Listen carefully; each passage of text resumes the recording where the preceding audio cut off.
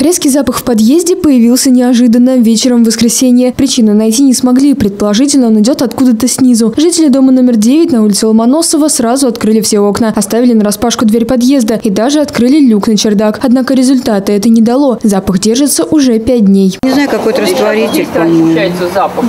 Не знаю, это что-то такое химическое. Но это не краска. Запах сильный, и, соответственно, и кашель у меня образовался. Пахло, да, вот каким-то вот такой вот химический был запах. Точно не, не могу сказать, что это. Вот, был на, мы живем на пятом этаже, соответственно, у нас все открыто. То есть, ну, мало помогает. Я задыхалась. Я астматик. Я задыхалась. Вот, мне было очень плохо.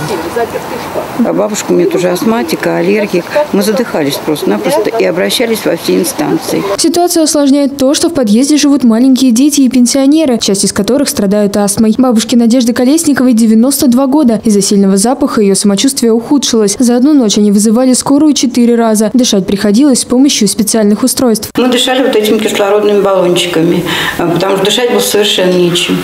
Угу. На самом деле, вот все здесь жгло, все горело, и мы задыхались, все окна, все настежь было открыто, дышать было нечем. Дышали вот такими кислородными баллончиками. Местные жители забили тревогу и уже в понедельник начали звонить в разные инстанции. Однако слушать людей нигде не стали. Мы звонили ЖЭУ, санэпидемстанции, Роспотребнадзор. Из каждого телефона нас отправляли в другую инстанцию, в другую инстанцию.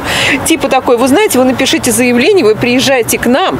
Мы говорим, ну мы задыхаем ругаемся. В чем дело? Наконец дозвонились, да, приемный губернатора. Да. А приемный губернатора Надежду а. просто-напросто послали, извините, на три буквы. Стоит отметить, что резкий запах появился в подъезде не в первый раз. Такой же был три месяца назад и полтора года назад. Правда, в тех случаях исчез он так же неожиданно, как и появился. Галина Кудряшова, Игорь Клотов, телекомпания «Город».